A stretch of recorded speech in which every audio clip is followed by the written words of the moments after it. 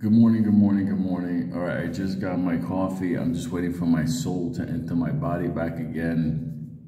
Um, but I wanted to get out because I got some XRP question on price again.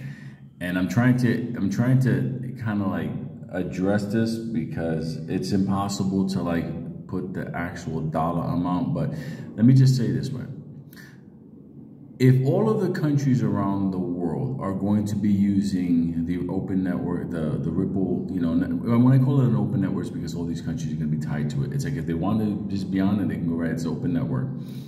Now, once you're on the Ripple blockchain, the, the Ripple network, as far as like being able to move money from cross borders, yada, yada, yada, you have to understand that all the countries in the world, all their central banks, okay, even the IMF, they're gonna have to have XRP, the bridge currency, you know, that ties everything together. It's gonna have to be at a high price. There's no way around it. Let me explain to you the reason why.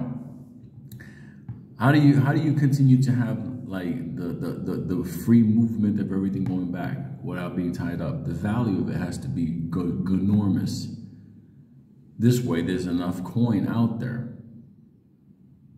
And maybe that's a little bit too hard for people to understand, but in order to create liquidity in this, in this coin, because it's going to be needed, because if you want to send money, let's say Russia wants to send money to Argentina or vice versa, they're going to need available XRP. They're going to need those those tokens. They're going to have they're going to have to be valued at a point where it's so high that it can cover the transaction between governments, central banks, institutions, and major corporations. Do you understand what I'm trying to tell you?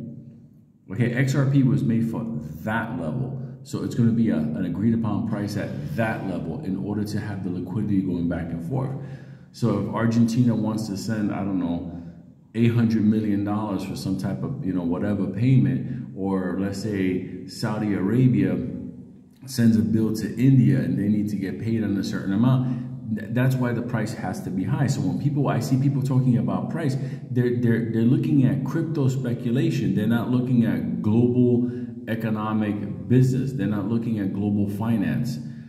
When countries, government, in a country's banks, institute, when they're sending money, they're sending money in the in the hundreds of millions, billions. So the price has to be high to be a bridge currency to that's how they have liquidity. So people speculating on price, you gotta stop because at the end of the day, you're holding coins for the big boys. There you go.